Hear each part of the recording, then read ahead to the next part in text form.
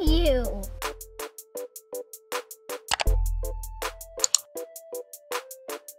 So you've downloaded Filmora 9, you think it's gonna be smooth, crispy, looking just like it used to look, especially at least when you launch it, you know, you think you're gonna have your aspect ratio selection soon as you get started before you even get to editing, but it's not there.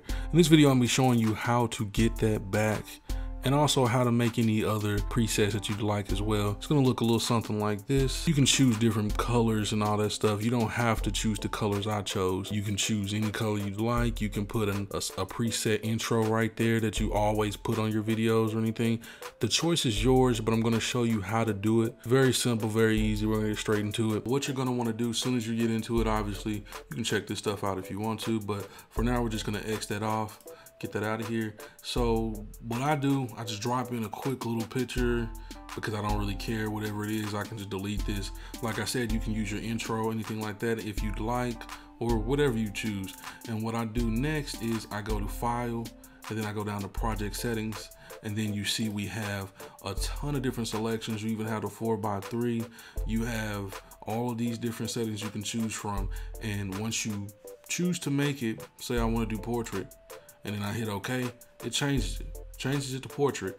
But you're probably wondering, okay, yada yada. Show me how I get it back on my start screen. So what you want to do then is come over, then you want to go to save project as. And once you save the project, you want to name it. I put the little dash right there because it just wasn't working when I was trying to do the other symbols and stuff like that. It wouldn't let me save because it has to be certain stuff. Like certain symbols will work, certain ones won't. But that's besides the point. And you can use this for other things too. You can do it for like, say, Vlogmas, or you do a certain video series that you like. Maybe you do hair tutorials, makeup tutorials, and you have a certain intro for certain videos. You can just do this exact same thing with that. You can just drop that intro in, choose your aspect ratio, choose your frames per second, and then save the project and then name it what you want to name it so you can easily tell which one it is or you can just tell by the thumbnail picture. It just the choice is yours. So that's how you get your video presets or profile or project presets whichever you want to call it. That's how you get them back